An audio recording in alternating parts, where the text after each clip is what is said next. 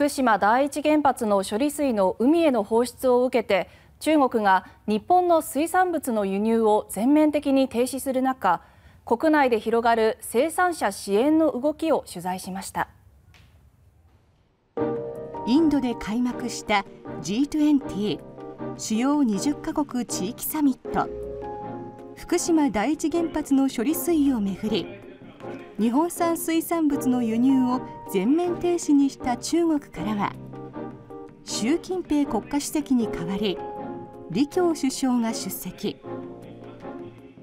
岸田総理大臣は各国首脳らに一部の国は突出した行動をとっていると述べ中国の姿勢を改めて批判しました。岸田総理より先に順番が回ってきた中国の李強首相からは処理水に関する発言もそして日本への批判も聞かれなかったということです。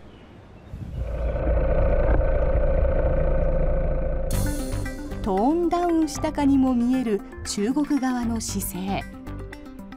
しかし水産物の輸入を停止した影響は計り知れません。北海道のホタテが中国に行く分が国内にどんどんどんどん流通してますのでなかなかホタテがすごい日本国内で多く出回ってますのでやはりあの市場からのあのオーダーがかなり少なくはなってますよね。水産庁の調査では北海道でホタテ1キロあたりの取引価格が7月中下旬の平均195円から8月には173円と20円以上も下落しました。日本の水産物への影響は多岐にわたる中国内では支援する動きが広がっています。現在こちらの鮮魚店では福島県産の海産物を扱ったフェアが行われています。鮮魚がずらーっと並ぶ中福島県産の大きなヒラメが目に飛び込んできます。立派ですね。都内に9店舗ある鮮魚店では常磐ものと呼ばれる福島県産の水産品を応援するフェアを開催。風評の払拭や消費アップに向け東京電力と連携し常磐ものの美味しさや魅力を伝えるのが狙いです。一番人気は天然のヒラメ。フェア限定の二色丼は塩締めと醤油漬けを食べ比べできます。福島の魚の安全性であったり美味しさそれを伝えるいい機会になると思っておりました。福島の魚を食べることが一消費者のできる一番の応援になると思いますのでそれのお手伝いができればいいかなと思ってます。何買ったんですかね？ヒラメ二色丼が一度で二度楽しめるのはい、いいなと思います。で発見福島って書いてますけど、はい、全然ネガティブなイメージがないです、はい。そんな中国なんか買ってもらわなくても日本人いっぱい食べればいい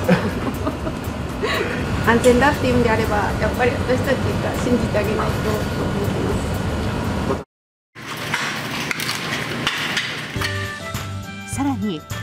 中国の金融措置を受け急増しているのがふるさと納税での支援です。国内屈指のホタテの生産地北海道の別海町では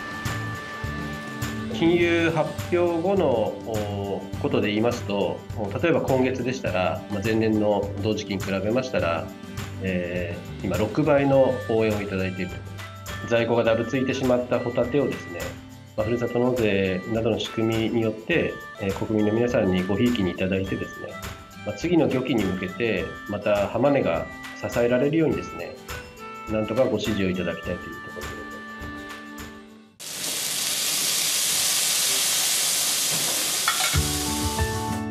す外食チェーンを展開するワタミは明日から応援キャンペーンを開始。国内の居酒屋116店舗で国産ホタテを使用した新メニューを展開しますま、今回、中国に輸出できないことは日本の水産業にとって大変なダメージだと思うんです。このダメージを少しでもみんなで和らげていきたいとそう思っています。